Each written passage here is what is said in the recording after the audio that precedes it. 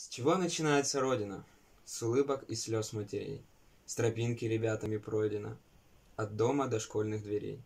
С березок, стоящих веками, На взгоре в отцовском краю.